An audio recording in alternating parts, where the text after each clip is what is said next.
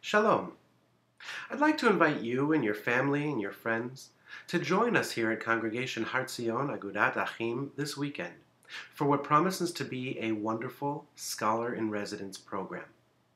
It's something we do every year in memory of our beloved Rabbi Joseph Brandress and in honor of his wife Perla. This year, we will kick things off during Shabbat morning services and invite renowned Jewish storytellers Rabbi Mark Novak and Renee Brachfeld to lead us in a Devar Torah in story and song.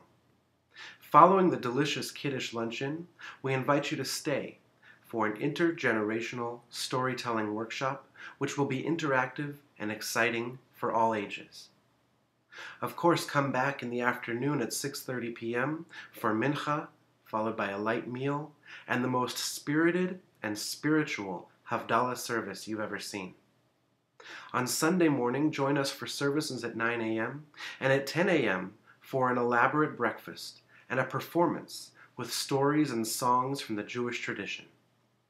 Please help us to start this season of telling the story of our Jewish people in the right way.